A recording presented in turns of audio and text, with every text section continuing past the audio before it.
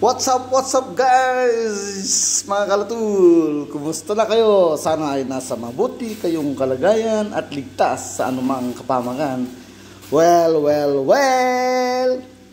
Welcome back to my YouTube channel kung saan good vibes lang tayo sa YouTube channel ni Alatul Kenku. Matagal-tagal na rin akong hindi nagluto, di ba? Alam niyo naman. Kasi mga kalatul, sobrang busy sa trabaho. Yan. At alam niyo ba kung bakit ako naka magluluto ngayon? Kasi meron pong umorder sa akin. Umorder, nagpaluto. Pare, pwede na yan, di ba? Umorder, nagpaluto. Ayan. Nagpaluto ng sopas. Dahil birthday niya raw. Happy, happy birthday to you, uh, kaibigan, uh, Megs. Ayan, may alarm pa ako. Kailangan lagi tayong uh, ready yan para lahat ng gagawin natin ay hindi natin makalimutan. At pag nag-alarm, check natin kagad kung bakit siya nag-alarm. Ayun. Hindi ko na sana kukuha ng video to eh. Kaya lang eh, nag-request yung ating uh, panauhin uh, na may birthday para meron daw uh, remembrance. Ayan.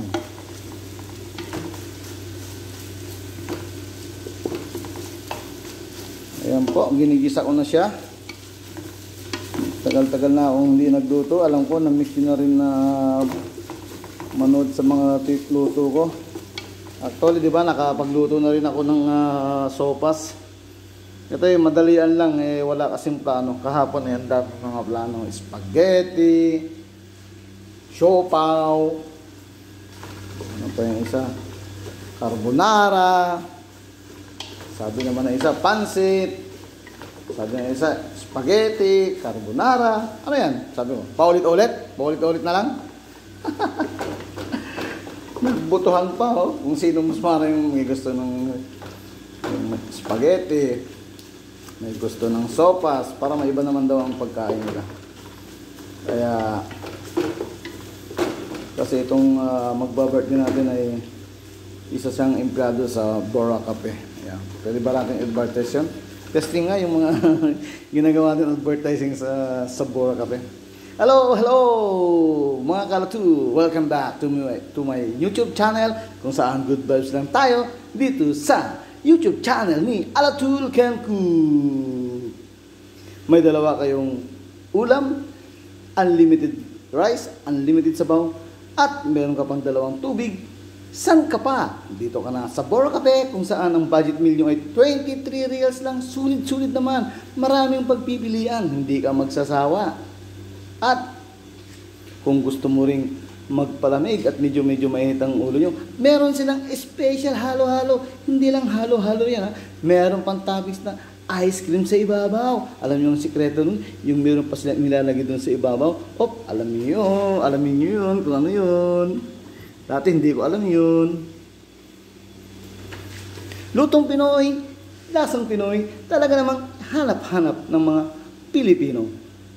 Kaya maraming maraming salamat at subukan yung mamasyal po, yung mga hindi pa nakakain sa Bora Cafe. Sulit na sulit, panalong panalo ang 23 years mo dahil doon ulam lang ang babayaran mo. Kahit isang katutak kainin mong kanin, kahit isang balbing sabaw ang iyong higupin, walang problema. Basta nandoon ka lang sa iyong pwesto. Walang problema yun. Only rice, only sabaw, at meron pang bonus. May dalawang toothpick at dalawang tissue. San ka pa? Doon na kayo mga kabayan sa Bora Cafe. Ang number one at pinipilahan ng mga Pilipino at mga OFW dito sa Saudi Arabia. Ayan, maraming maraming salamat po. At yung hindi pa nakasubscribe, please subscribe, subscribe na YouTube channel kung saan good vibes lang tayo at pakipindot na rin ang notification bell upang sa ganun updated ko kayo lahat sa lahat ng aking i-upload ng mga video. Maraming maraming salamat. God bless you all at happy weekend. Oh, mukhang nasusunog na yung ginigisa natin na. Medyo napapasarap sa kwento-kwento lang ah. Ayan po. Kailangan to ginigisa to ng uh, maigi. Yan. Megs, happy happy birthday! Maganda kasi pag walang plano eh, natutuloy. Ito sa totoo lang, wala namang plano to. Medyo nagka... Pero talaga ang plano talaga is sa ano pa. Sa Friday, uh, Friday, sa Saturday pa ang plano talaga. Ayan po, ito po ang isang sikreto dyan oh. Wow! Sabaw pa lang.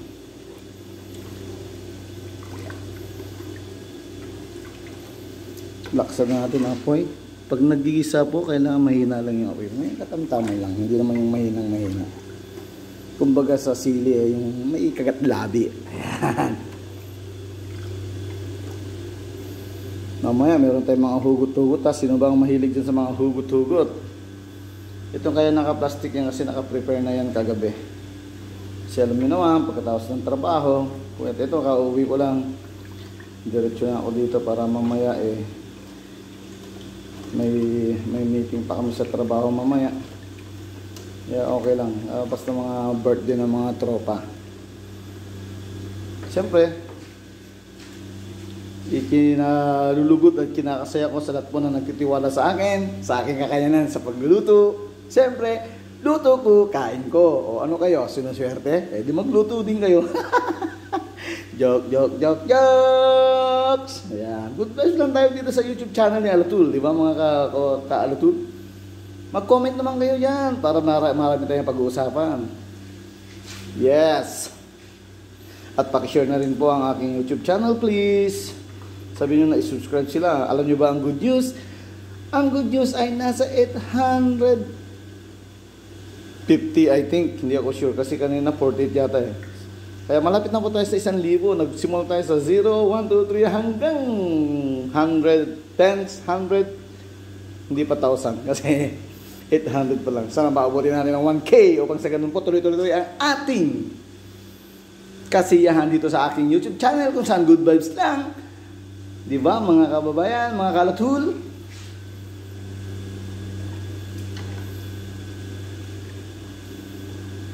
Ito lang, simple lang naman tong video natin ngayon. Eh, konting katuwaan lang para may remembrance lang po ang ating uh, tropa.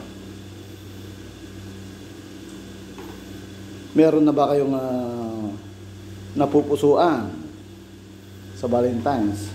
Ito ang hugot ko. Buti pa sa Boracay. Di ba? Dalawa ang ulam doon. Sabi nyo, correct. Yes. Yan.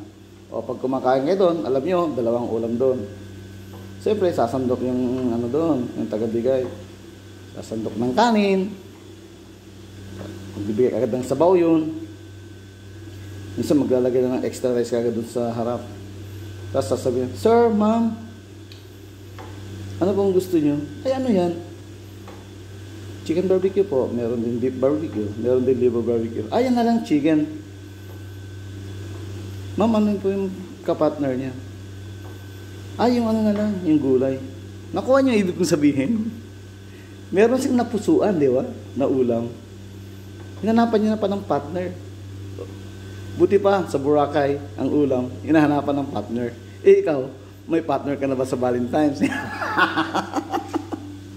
Yun lang. Di ba? Yun lang ibig ko sabihin. Eh, kung nag-gets nyo, eh di wow. Pag hindi, eh di wow pa rin. Mag-isip ka. Buti pa sa Boracay, hinahanapan ng partner ang ulam.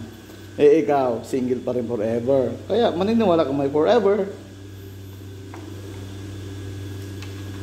Forever, forever and forever, forever and forever.